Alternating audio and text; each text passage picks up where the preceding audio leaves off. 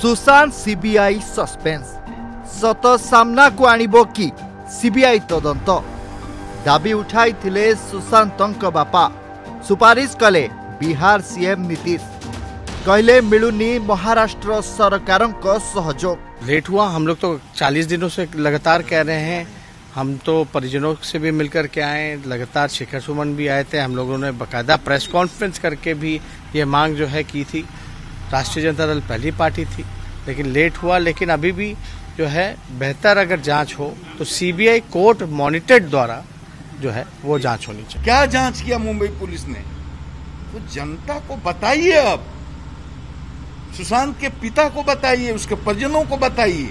आप तो कुछ बता ही नहीं रहे। हमारे लोग जा रहे हैं तो बात ही नहीं कर रहे हैं। हमारा फ़ोन ही नहीं उठा रहे हैं। गृह सचिव, यहाँ के गृह सचिव से बात करना चाह रहे हैं। तो गृह सचिव बिहार का फोन गृह सचिव महाराष्ट्र नहीं उतार उठा रहे हैं तो पूरा कम्युनिकेशन चैनल आपने बंद कर दिया है ସେପଟେ ରିୟାଙ୍କ ଓକିଲ କହିଲେ ବିହାର ପୋଲିସର ନାହିଁ ଭୂମିକା ସିବିଆଇକୁ ଯାଇପାରିବନି କେସ୍ ଏହାରି ଭିତରେ ସୁଶାନ୍ତ ସିଂ ମୃତ୍ୟୁ ମାମଲାରେ ଆଦିତ୍ୟଙ୍କ ଏଣ୍ଟ୍ରି ହୋଇଛି କୁହାଯାଉଛି ଜନ୍ମଦିନ ପାର୍ଟିରେ ସୁଶାନ୍ତଙ୍କ ସହ ଥିଲେ ଆଦିତ୍ୟ सारे इतने बड़े बड़े मामलों में हमारा मामला ये मतलब वो ना हो जाए।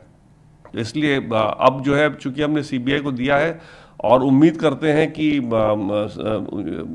सीबीआई भी अच्छी तरह से इसको, जिस तरह से बिहार पुलिस ले तो उससे ज़्यादा प्रोफेशनल तरीके से इस केस को इन्वेस्टिगेट करेगी, और पूरा उम्मीद है हम लोगों की इसमें जस्टिस अब किए सही महाराष्ट्र रुव मंत्री।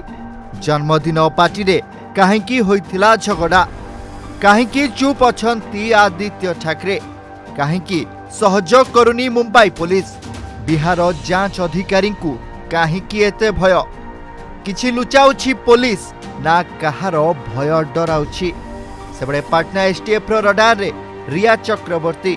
କୁହାଯାଉଛି ତିନି ଥର ନିଜ ଲୋକେସନ୍ ବଦଳାଇଛନ୍ତି ରିୟା। ଆଉ ଏହାର ପଛରେ ରହିଛି ମୁମ୍ବାଇ ପୋଲିସର ହାତ। ଏଭଳି ସଙ୍ଗୀନ ଅଭିଯୋଗ ଭିତରେ ବିହାର ଓ ମହାରାଷ୍ଟ୍ର ପୋଲିସ ସହ ନେତା ବି ଆମ୍ନା ସାମ୍ନି ଏପରିକି ରିୟାଙ୍କ ଭାଇ ବି ଗାୟବ ଏଠି ପ୍ରଶ୍ନ ଉଠୁଛି ରିୟାଙ୍କୁ କାହିଁକି ଘାରିଛି ଗିରଫ ହେବାର ଭୟ ଯଦି ସେ ଦୋଷ କରିନାହାନ୍ତି ତେବେ କାହିଁକି ଲୁଚୁଛନ୍ତି ବ୍ୟୁରୋ ରିପୋର୍ଟ ଦ ଅର୍ଗଷ୍ଟ ଅଟିନ୍